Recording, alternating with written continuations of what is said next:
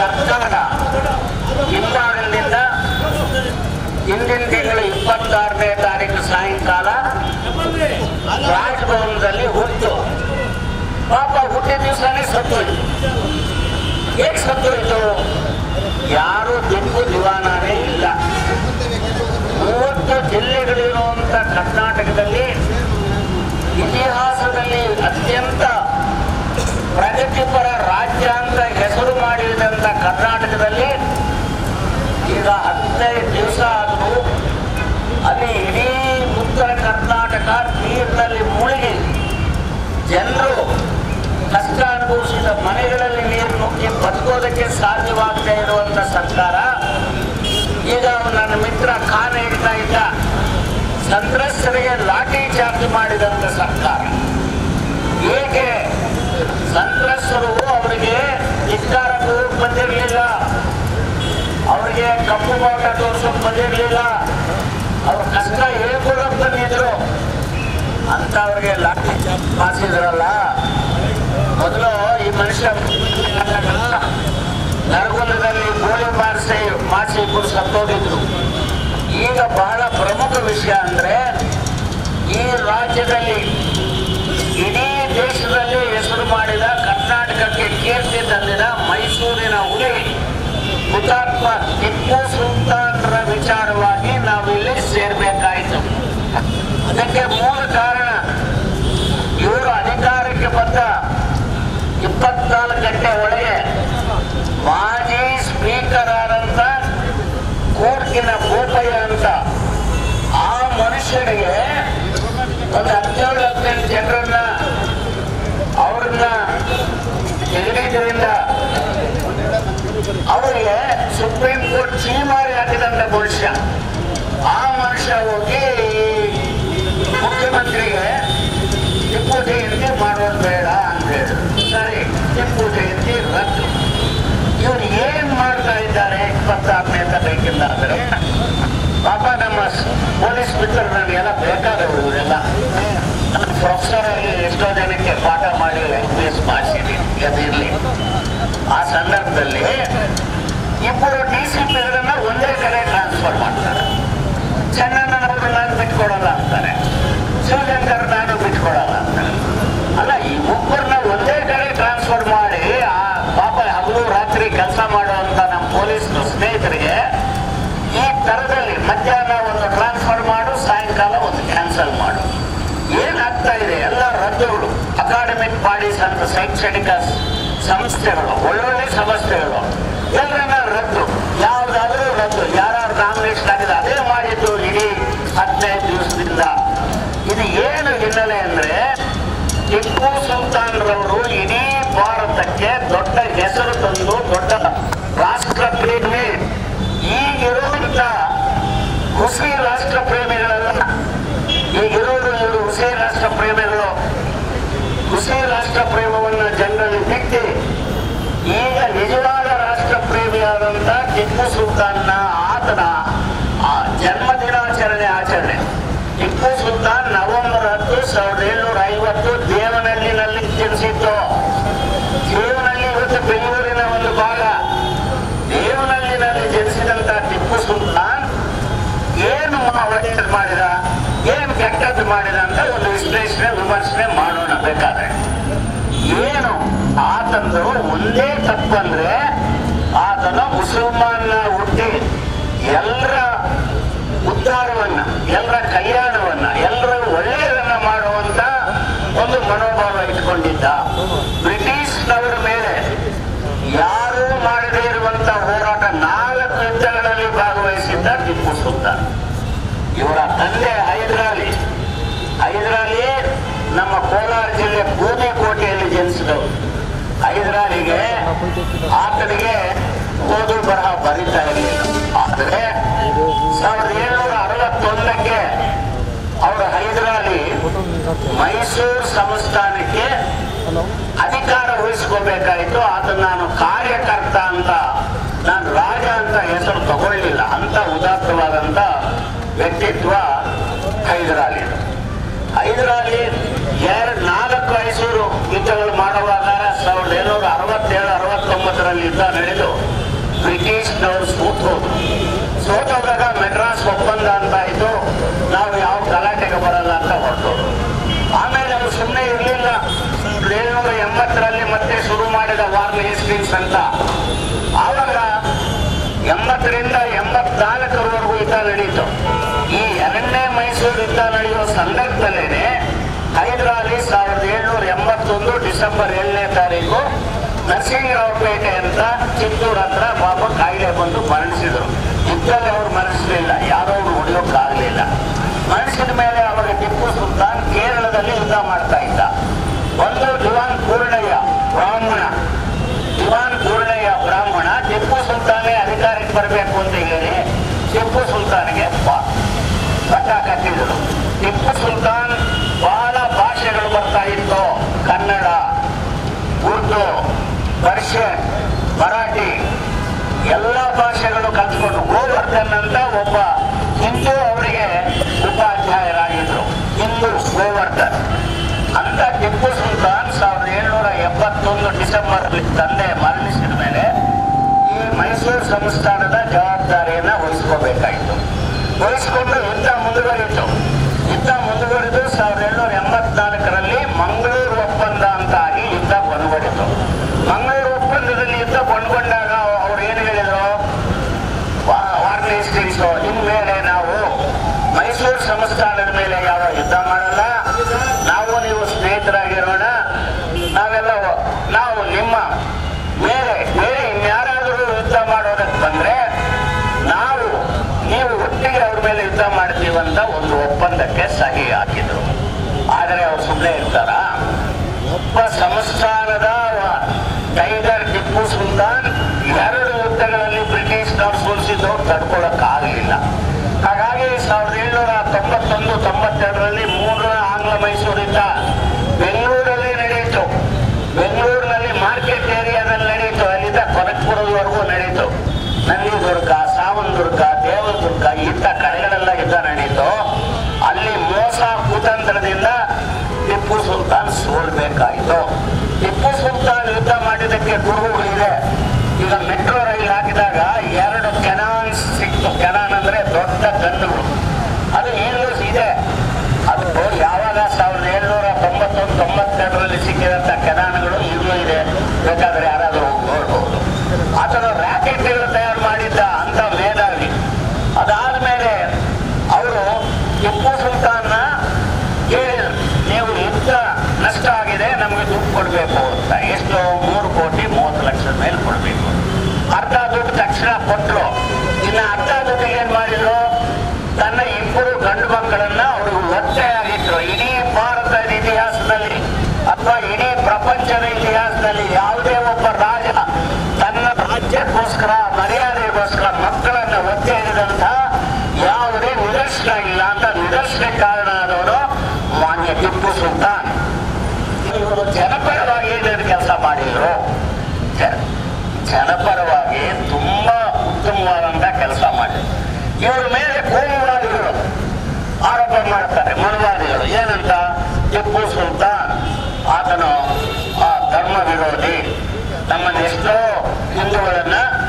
ಮುಸಲ್ಮಾನರಾಗಿ ಪರಿವರ್ತನೆ ಮಾಡಿದ, ಅಂತ ಒಂದು. ಎರಡನೇದು ಎಲ್ಲ ದೇವಸ್ಥಾನಗಳನ್ನ ಹಾಳು ಮಾಡಿದ. ಎರಡನೇದು. ಆಮೇಲೆ ಕನ್ನಡದ ಬಗ್ಗೆ ಆತನಿಗೆ ಅಭಿಮಾನ ಇರಲಿಲ್ಲ. ಆ ಕಾಲಕ್ಕೆ ಇಡೀ ದೇಶದಲ್ಲಿ ಪರ್ಷಿಯನ್ ಆಡಳಿತ ಭಾಷೆಯಾಗಿತ್ತು ಬ್ರಿಟಿಷ್ನವರು ಪರ್ಷಿಯನ್ ಭಾಷೆ, ಆಡಳಿತ ಭಾಷೆ ಮಾಡ್ಕೊಳ್ಳೋದ್ರಲ್ಲಿ ಅದು ಮೊಘಲರ ಕಾಲದಿಂದ ನಮ್ಮ ದೇಶದಲ್ಲಿ ಪರ್ಷಿಯನ್ ಆಡಳಿತ ಭಾಷೆ ಆಗಿತ್ತು.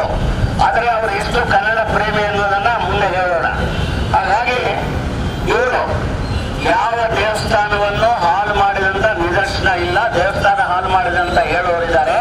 ಅಂತವ್ರನ್ನ ನಾವು ಅಂತ ಆಹ್ವಾನ ನೀಡಿದ್ದೀವಿ. ಇಲ್ಲೇನೆ ಒಂದು ಸುಮಾರು ದಿವಸ ಟೆಂಟ್ ಹಾಕೊಂಡು ನೀವು ಯಾವ ದೇವಸ್ಥಾನಗಳು ಹಾಳು ಮಾಡಿದ್ದಾರೆ ಅಂತ ಪಟ್ಟಿ ಕೊಡಿ ನಾವು ಏನ್ ಹಾಕೊಳ್ತೀವಿ ಇಲ್ಲ ಅಂದ್ರೆ ನೀವು ಏನ್ ಹಾಕೊಳ್ತೀರಾ ಅಂತ ನಾವು ಬಂತ ಆಹ್ವಾನ ಕೊಟ್ಟಿದ್ವಿ ಒಬ್ಬರು ಬರ್ಲಿಲ್ಲ. ಈಗ ಎಲೆಕ್ಟ್ರಿಸಿಟಿ ಲಾಸ್ ಆಗ್ತಾ ಇದೆ. ಒಬ್ಬರು ಬರಲಿಲ್ಲ. ಆಮೇಲೆ ನಮ್ಮ ಹಿಂದೂಗಳನ್ನೆಲ್ಲ ಪರಿವರ್ತನೆ ಮಾಡಿದ್ರು ಅಂತ. ಏನಾಯಿತು ಗೊತ್ತಾ?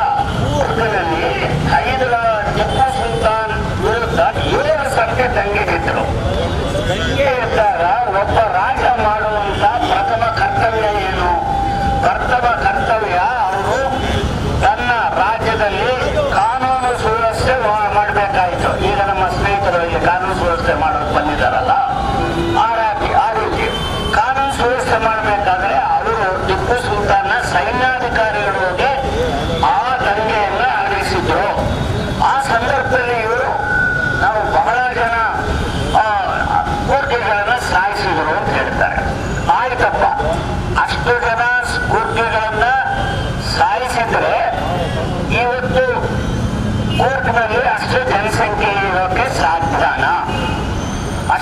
ಜನ- ಆ ಕಾಲದ ಗೆಜೆಟ್ ಅಲ್ಲಿ ನೋಡ್ಲಿ ಗೆಜೆಟ್ನಲ್ಲಿ ಅಲ್ಲಿನ ಪಾಪ್ಯುಲೇಷನ್ ಎಷ್ಟಿದೆ ಅಂತ ನೋಡ್ಕೊಳ್ಳಿ. ಆದ್ರೆ ಅಷ್ಟು ಜನ ಸಾಯಿಸಿರೋದು ಅದು ಉತ್ಪ್ರೇಕ್ಷೆ, ಅದು ಎಕ್ಸಾಗ್ರಿಗೇಷನ್ ಅದು ಅಷ್ಟು ಜನ ಸುಳ್ಳು ಎಲ್ಲ ಸ್ನೇಹಿತರು ಹೇಳ್ತಾ ಇದ್ದಾರೆ.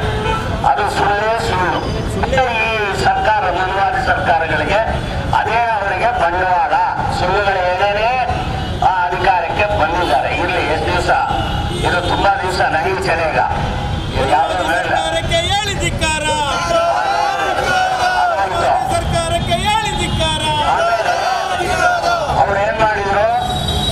ನಮ್ಮ ರಾಜ್ಯದ ವ್ಯಾಪಾರವನ್ನ ಮಾಡೋದಕ್ಕೆ ಲಂಡನ್ನಲ್ಲಿ ಟ್ರೇಡ್ ಕಮಿಷನರ್ ಅಂತ ನೇಮಿಸಿದ್ರು. ಇದೇ ಕಾವೇರಿ ನದಿಯನ್ನ ಅದನ್ನ ಮಲಿನಾಗಿರೋದನ್ನ ಸರಿ ಮಾಡೋದಕ್ಕೆ ಮಾಡಿದ್ರು. ಯಾರು ದಲಿತರು ಹಿಂದುಳಿದವರು ಇದ್ದಾರೋ ಜಮೀನುಗಳನ್ನು ಬಹಳ ಜನ ಜಮೀನುಗಳನ್ನು ಪಡೆ, ಪಡೆದು ಅವರು ಸ್ವಂತವಾಗಿ ವ್ಯವಸಾಯ ಮಾಡೋದಕ್ಕೆ ಅವಕಾಶ ಮಾಡಿಕೊಟ್ರು. ಇನ್ನು ದೇವಸ್ಥಾನಗಳ ಲೆಕ್ಕ ತೆಗೆದುಕೊಂಡ್ರೆ ಸಾವಿರದ ಏಳ್ನೂರ ತೊಂಬತ್ತೊಂದರಲ್ಲಿ ಮರಾಠರಾದಂಥ ಪಟವರ್ಧನ್ ಅಂತ ಪೇಶ್ವೆಗಳು ಅವರು ಶೃಂಗೇರಿ ಮಠದ ಮೇಲೆ ದಾಳಿ ಮಾಡ್ತಾರೆ. ಶಂಕರಾಚಾರ್ಯರು ಸ್ಥಾಪನೆ ಮಾಡಿದಂತ ಶೃಂಗೇರಿ ಮಠದ ಮೇಲೆ ದಾಳಿ ಮಾಡಿ ಅಲ್ಲಿದ್ದಂತ ಸ್ವಾಮೀಜಿ ಅಲ್ಲಿದ್ದಂತ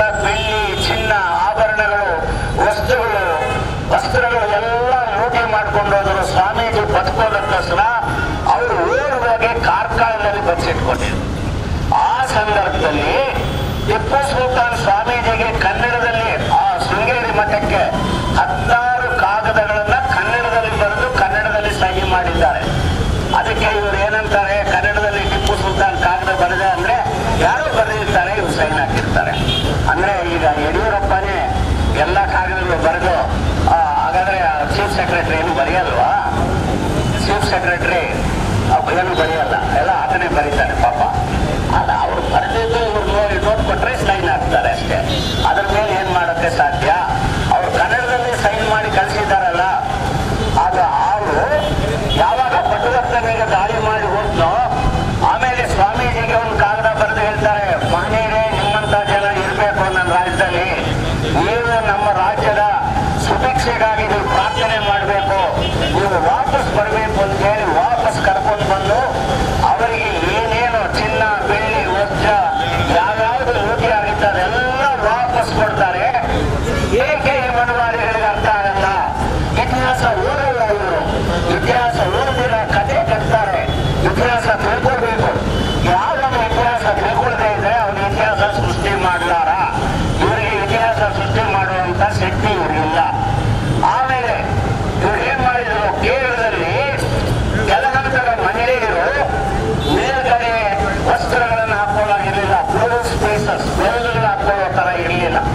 ಅದನ್ನ ಅರ್ಥ ಮಾಡ್ಕೊಂಡು ಟಿಪ್ಪು ಸುಲ್ತಾನ್ ಇದಕ್ಕೇನಪ್ಪ ಧಾರ್ಮಿಕವಾದ ಹಿನ್ನೆಲೆ ಇದೆಯಾ ಯಾವ ಕಾರಣಕ್ಕಾಗಿ ಅಲ್ಲಿ ಮಹಿಳೆಯರು ಕೆಲಹಂತದ ಮಹಿಳೆಯರು ಹಿಂದುಳಿದವರು ದಲಿತರಿಂದ ಅವ್ರನ್ನ ಹಾಕೋಬಾರ್ದು ಅಂತ ಹೇಳಿದಾರಲ್ಲ ಹೇಳಿ ಮೈಸೂರು ಸಂಸ್ಥಾನದಿಂದ ಎಲ್ಲಾ ಮಹಿಳೆಯರಿಗೂ ಬ್ಲೌಸ್ ಪೀಸಸ್ ಸರ್ಕಾರದ ವತಿಯಿಂದ ಸಪ್ಲೈ ಮಾಡಿ ಮಹಿಳೆಯರ ಗೌರವನ್ನ ಕಾಪಾಡಿದಂತ ವ್ಯಕ್ತಿ ಏಕೈಕ ವ್ಯಕ್ತಿ ಟಿಪ್ಪು ಸುಲ್ತಾನ್. ಅದು ಮಾಡಿದ್ರು. ಅದಾದ್ಮೇಲೆ ನಂಜನಗೂಡು ದೇವಸ್ಥಾನ, ಒಂದು ಆನೆ ಕಣ್ಣಲ್ಲಿ ನೀರು ಸೋರ್ತಾ ಇತ್ತು. ಟಿಪ್ಪು ಸುಲ್ತಾನ್ ನಂಜನೇಶ್ವರನಿಗೆ ಪ್ರಾರ್ಥನೆ ಮಾಡಿದಾಗ ಆ ಕಣ್ಣಲ್ಲಿ, ಆನೆ ಕಣ್ಣಲ್ಲಿ ನೀರು ಸುರಿಯೋದು ಕಮ್ಮಿ ಆಯಿತು. ಇವತ್ತು ಇವರ ಒಳ್ಳೆ ಆಡಳಿತದಲ್ಲಿ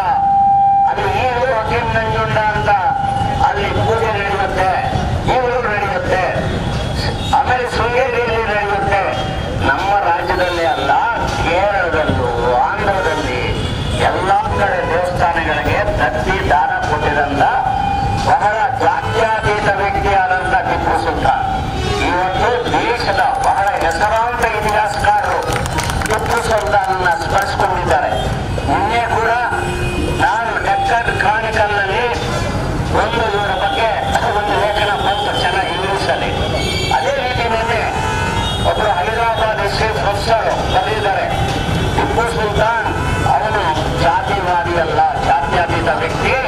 ಆತನ ನಾವು ಗೌರವಿಸಬೇಕು ಅಂತ.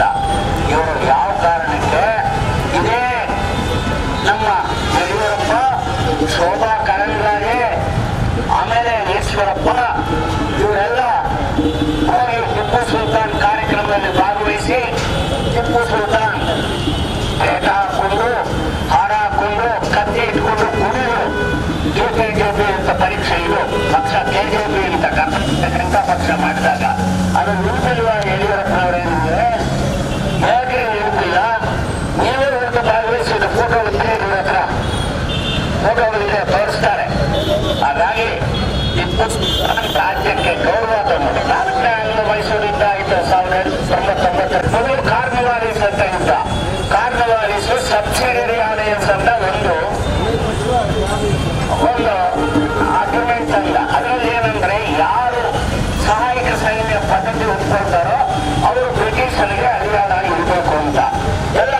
ಒಪ್ಕೊಂಡ್ರು ಈಗ ಹೈದರಾಬಾದ್ ನಿಜಾಮ್ ಕೂಡ ಒಪ್ಕೊಂಡ ಬರೋಡದವ್ರು ಒಪ್ಕೊಂಡ್ರು ಕೊಲ್ಹಾಪುರದವ್ರು ಒಪ್ಕೊಂಡ್ರು ಆದರೆ ಟಿಪ್ಪು ಸುಲ್ತಾನ್ ಒಪ್ಪಲಿಲ್ಲ ಅವರ ಸ್ವಾಭಿಮಾನಿ ಆಗಿದ್ದ ಹೇಗೆ